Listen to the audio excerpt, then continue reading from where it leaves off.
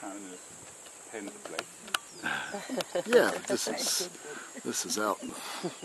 Oh. Where, where's the rest of them? What, you want more than two?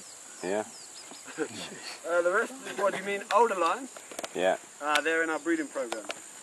Uh, we won't we won't walk with um, more than I mean four is the maximum for a set of lions. Maximum. Comfortable number is, a full bath. Um, we never have a lion on their own because lions are very social animals. And if a lion grows up on their own, they will grow up on their own for the first three months of their life. She was very spoiled, very spoiled. And the thing is, the lion's natural behaviour is to play.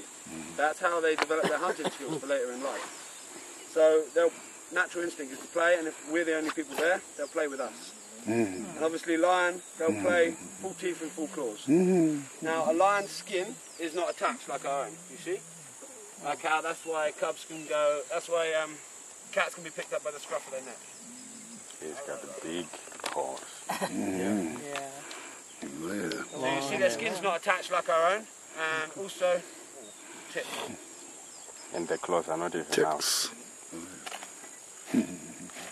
Ticks. But also, a lion's skin is seven times thicker than our own. Ah. So when they hit each other with the claws, it's no problem because the skin has a lot of give, but it's also very thick.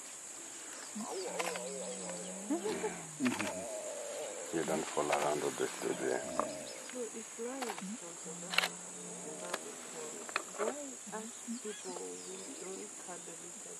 No, no.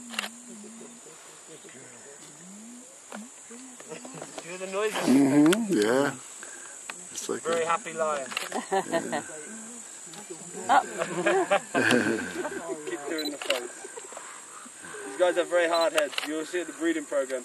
They'll come to the fence to greet you, and they'll walk into each other. they won't even feel it. They won't even feel it. They're beasts. Right, when do we get to touch them then? Just now. Just now.